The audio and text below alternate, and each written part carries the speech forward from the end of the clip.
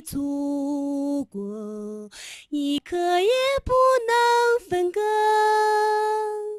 无论我走到哪里，都流出一首赞歌。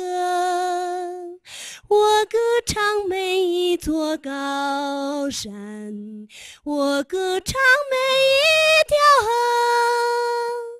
袅袅炊烟，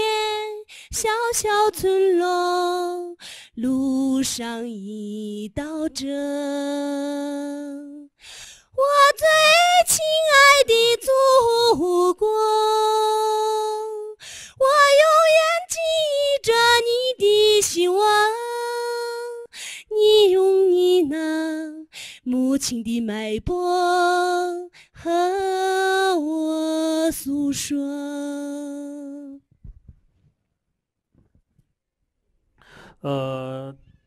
我和我的祖国，这是一个非常经典的歌曲啊，应该说是，呃，这个歌曲有很多的歌手去唱，有很多不同的版本，啊，就是你要去唱属于自己的声音。刚刚就是你刚刚起头的时候，其实特别舒服，但是到后面，尤其是你唱到每一条河的时候，你的情绪就转了，所以这就是去去对歌曲的理解，啊，你。从这个接触这个歌词之后，哎，你的感受是什么？你要对这个歌曲有什么理解？说刚刚我我们在唱听的时候呢，就是你在刚开头的时候，其实这个唱的已经很舒服了，但是到后面完全就是另外一个风格。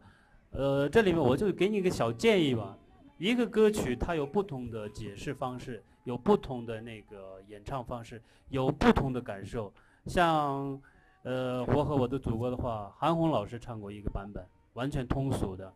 呃，然后呢，就是民歌方面和那个呃正常这种我们声乐的这个角度的这种歌曲特别多，然后还有一个另类的唱法，王菲唱过一版，我建议你去听一下，